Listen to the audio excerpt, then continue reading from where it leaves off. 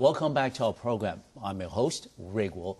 We will continue our conversation with Professor Lin Baoshu, uh, uh, Dr. Paul Lin, who was the former Director General of the Information Communication Research Laboratories here at ITRI here in Taiwan. Uh, Dr. Lin, we know it's, it's quite remarkable when I you know, learned from your CV that in addition to your capacity with the government you know, research institute and uh, also with the National Chiao Tung University, that you're also a global strategic advisor to a number of leading international technology firms like IBM, like uh, uh, uh, Intel, and MIPS. How do you try to coordinate and manage all these different you know capacities that you play professionally? Okay, I think uh, one of the most experience I have is I have been work for uh, American company. Yes. European company and Taiwan company. Okay, good. I spent 16 years in the United States, work for a company like uh, AT&T Bell Lab, okay. Boeing company, mm-hmm. and work for European company, so-called Philips yes. Research, mm-hmm. Philips Electronics. Mm-hmm.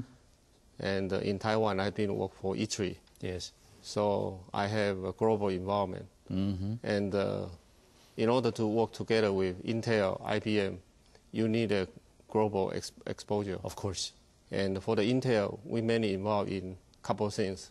One is uh, uh, symmetric multiprocessor development okay. in the early uh, 1990s. Yes. Mm-hmm. and also Mm-hmm. involved in the WiMAX development for the current stage. Yes.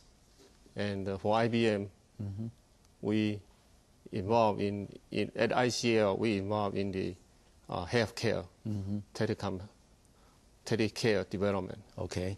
And uh, since IBM tried to explore their uh, cloud computing Mm-hmm. for service industry, Yes. and the first thing they choose is the telecare.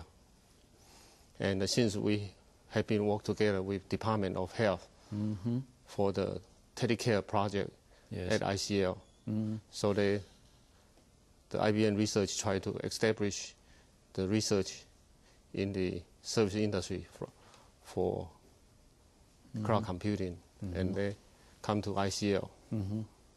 to cooperate. Mm-hmm. Last December, they formally announced to form the uh, IBM Research in Services in Taiwan. Okay. Dr. Lin, we understand that all these different, you know, professional capacities that you have you know, assumed in the past, that uh, it is, you know, sometimes a challenge to try to create a win-win solution for the projects that you are confronted with. You know, sometimes, you know, I mean, some of the technological breakthroughs may not be applicable in a very commercial sense for the industry. And how do you then, in your capacity as their global strategic advisor, how do you create those win-win situation for everybody concerned? How do you do it?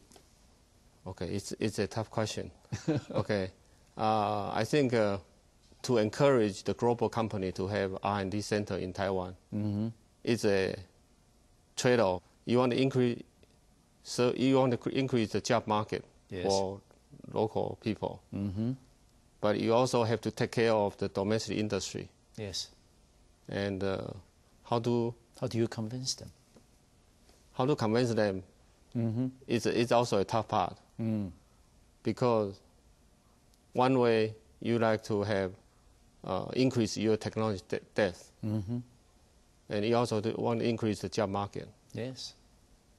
But domestic or local company, Mm-hmm. they lose talent. But if you consider the local company, they just want to use the, our people for the OEM, ODM. Mm-hmm. You, you, we lose the uh, competitive edge. Mm-hmm. So you want to have the more, you, you want to have more advanced, more talent people work in something that's more challenging for them. Mm-hmm.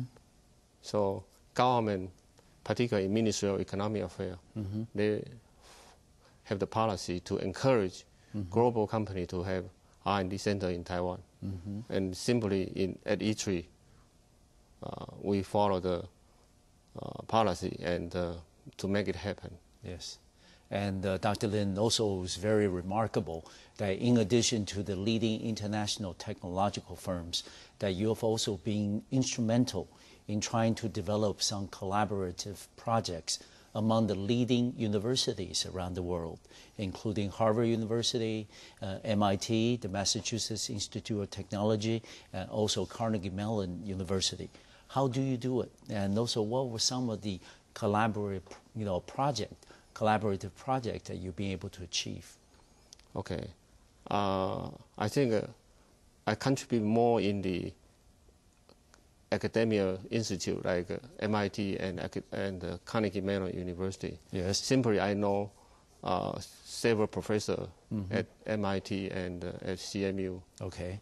And uh, uh, for MIT, we know the professor and research scientists Mm-hmm. at uh, the laboratory called Lab for Computer Science, Mm-hmm. LCS, now called so-called CSAIL, Okay. Computer Science and AI Laboratory Okay. at MIT. All right. I know several professors there. All right. The professor like Victor Zue Okay. is very good at uh, speech recognition using software approach or diagnos- uh, dialogue system Mm-hmm. for speech recognition. Okay. And uh, at Carnegie Mellon University, Mm-hmm. I know several professors in the IC design house in, for the IC design expertise Mm-hmm. and also for the multimedia uh, system development. Okay.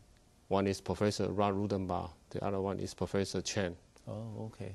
By the way, those two professors also the co-advisor of my son's PhD thesis. Oh, that's terrific. Yes. Okay, so right. uh, we have a, a so-called ITRI lab at CMU oh, okay. and ITRI lab at MIT. Yeah, I would suppose then, Dr. Lin, that you have be able to send a lot of talents in Taiwan to go and do a short-term research project Yes. or for advanced training at those leading universities. Yes, Uh-huh. yes. Mostly at MIT and Carnegie Mellon, Uh, and also Stanford, Harvard. Harvard and Stanford is less than uh, MIT. MIT and CMU. Okay. because CMU and MIT Mm-hmm. they have more uh, technology development Mm-hmm. than Stanford and uh, Harvard. Of course. Yeah, because they have more Mm-hmm. research scientists related to computer science and electrical engineering. Mm-hmm. Stanford is a tough university to work because of the intellectual properties Yes. issue. Yeah. They, Always. they, they don't share the intellectual property Yeah. with the other uh, agency. Okay. But MIT and the CMU, they are willing to co-own the intellectual property with the participant Okay. or partnership. Okay. And uh, what is also interesting is that, uh, Dr. Lin, you mentioned earlier about having some of these leading international technology, you know, technological firms coming to Taiwan and set up their research and development center. Yes. And uh, we've talked about the, you know, the potential for Taiwan, you know, our government often referred to as the regional you know, research and development R&D center for all of Asia. And uh, how would you think that Taiwan, as a you know, future you know, possible destination for the R&D center uh, regionally, what will be some of the advantages that we have? What will be some of the you know, elements that we're able to attract those international firms and set up the R&D centers here in Taiwan? Taiwan is a country with trust and freedom. Yes. And uh, compared with mainland China, Mm-hmm. I think we have this kind of advantage. Yes. And uh, Mm-hmm. also, our professor at university and the student graduate from uh, major national university. Yes. Those are the talent that global company R&D center Yeah. they would like to attract. Of course. Uh, particularly the, the company who want to have business in mainland China Mm-hmm. from Europe, from United North America, or from Japan, Yes. they will uh, go through Taiwan as the step stone Okay. to go to mainland China. Mm-hmm. So I think uh, uh, I would like to see more global view Mm-hmm. for the university graduate student Okay. instead of isolate themselves from the international Mm-hmm. uh, arena. Okay. Do you then foresee more cooperation, you know, between, for example, ITRI in Taiwan and also corresponding agencies, your research agencies on the mainland?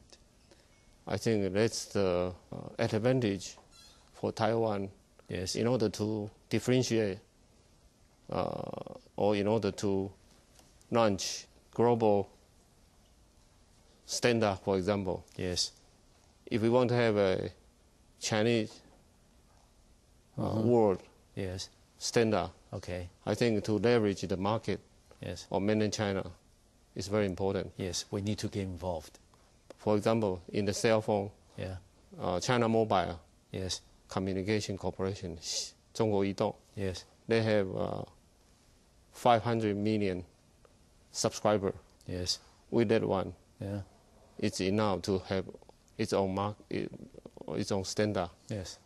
And uh, so I think the collaboration among The operators. operators Yes. and also manufacturer yeah.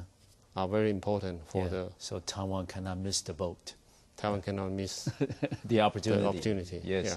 Well, we're going to take another short break on the Taiwan Outlook, and we will come back shortly, and we'll continue our conversation with Dr. Paul Lin Baoshu, who is the former Director General of the Information and Communications Research Laboratories here in Taiwan at ITRI. We'll be right back.